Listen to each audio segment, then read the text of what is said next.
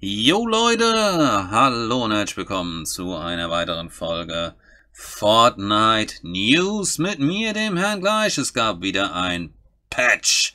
Und ich habe ja schon ähm, gleich, als die, die News da rausgekommen sind von Ninja, die erste Reaktion zu dieser Ice Trap gepostet.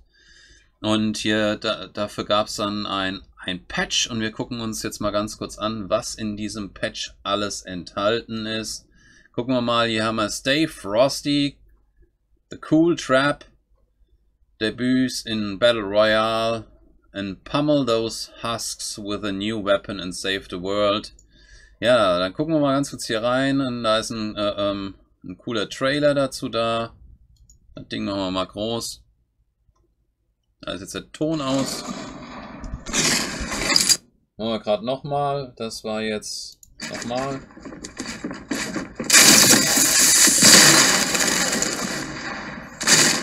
Und da ist er auch schon weg.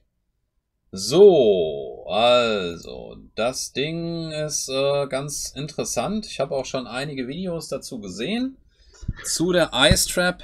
Ähm, also, was man auf jeden Fall darüber sagen kann, es hält ziemlich lange an. Ja, der Effekt. Also du hast dann die, die, äh, die Füße in solchen Eisklumpen drin, dann gleitest du. Ja, und ähm, am Anfang brauchst du ein bisschen Zeit, um erstmal loszulaufen, aber dann, wenn, dann bist du richtig, bist du richtig schnell und kannst dann richtig schön an jemanden vorbei sliden und auf den schießen. Ist auf jeden Fall mega cool, das Ganze, was auch eben ein Effekt ist, du kannst halt keine Treppen mehr hochlaufen. Also, es geht einfach nicht. Hast keine Möglichkeit mehr dann, äh, äh, wenn du die Eisklumpen hast, noch nach oben zu laufen. Ähm, diese Ice Trap kannst du ganz normal am Boden, an den Wänden und an der Decke sogar äh, anbringen. Und könnte unter Umständen dazu führen, dass der ein oder andere, wenn er versucht hochzukommen und an dieser Ice Trap vorbeiläuft, dass er dann einfach einen Abflug macht, ja, und es gar nicht schafft, zu dir hochzukommen. Und da dieser Effekt ziemlich lange anhält, kann das ein riesiger Vorteil für dich sein. Ja. Also jedenfalls ein mega nices Ding. Dann gibt es beim Playground ähm, Neuigkeiten.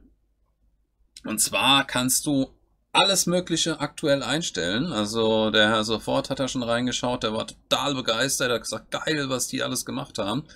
Du kannst die Anfangsleben einstellen, du kannst einstellen, wie viel Schild jemand hat.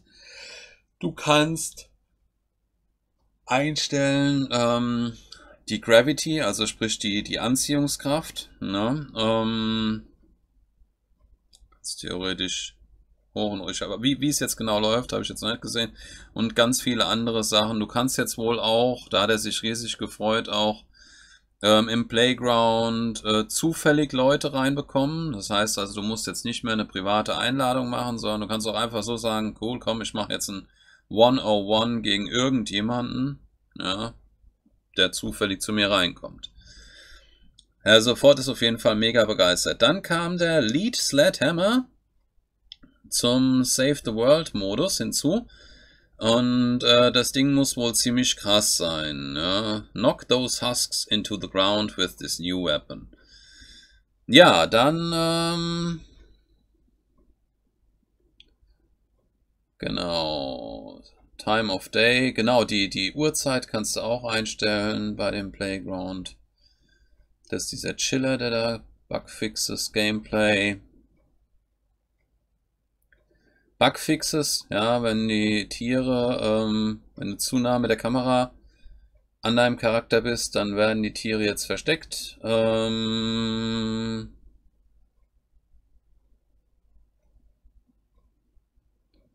Ja, und ein paar andere kleinere Fixes, die jetzt nicht so prickelnd sind.